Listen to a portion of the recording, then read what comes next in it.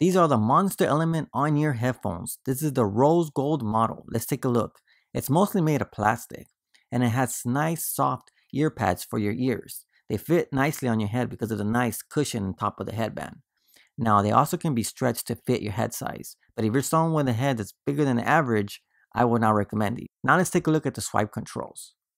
If you swipe up, it raises the volume. You swipe down, it decreases the volume. If you tap once, it pauses your music. If you tap twice, you can skip forward your track. If you tap three times, it skips backwards. It comes with one button for your power, and that power also connects it via Bluetooth to your mobile device. It also comes with a micro USB to charge your headphones. And this is a cool feature to have because it also plays a factor in having direct audio USB. For example, on mine, I connected it to my laptop and I heard the difference between the wired version and the USB version. Overall, I think these headphones have a good range in Bluetooth and have a good sound quality.